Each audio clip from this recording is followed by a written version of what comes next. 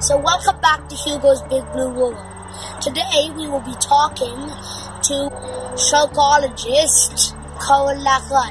He used to study great white sharks in South Africa and here at Hugo's Big Blue World. We love all kinds of sharks. Now a cool fact is that him and his team found a, a new way to attach CritterCam to sharks, to all our sharks.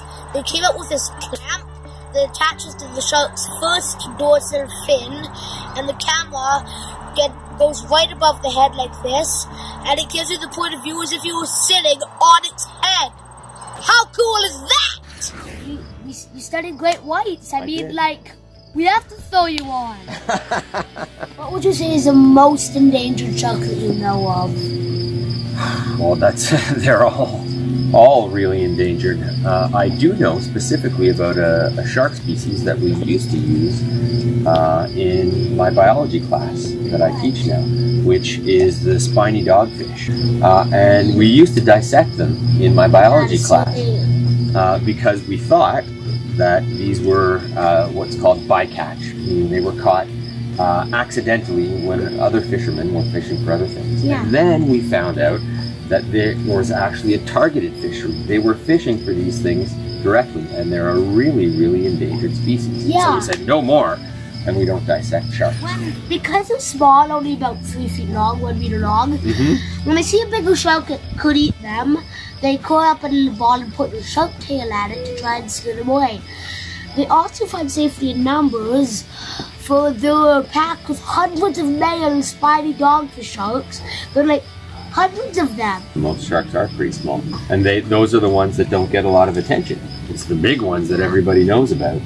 Because of the blue sharks and sharks being killed, the mesopredators are like the lizard skates are like taking over, right? The smaller sharks. Meso meaning middle. So this is something that uh, has been discovered over the past couple of decades and really documented well is that ecosystems and communities, biological communities, are really interlinked. The or, or, all the organisms are linked together through their interactions, whether they're predators or prey or competitors, or whether they interact with each other in other ways that aren't necessarily direct. Yeah. And if you change the behavior or the density, how many of them there are of a certain species, that will have an effect on the other organisms that it interacts with and change their behavior or change their density. yeah. And so if you take away the organisms at the top that eat all of these things, well then nothing's eating those mesopredators anymore. and they'll take over and, And they can- the marine ecosystem in half. All out of whack. Like, yeah, so this brings us to some things that might seem a bit complex in the marine food web, but they're actually quite simple. So, how could people pitch in to save these species like the cute little spiny dogfish who are being threatened?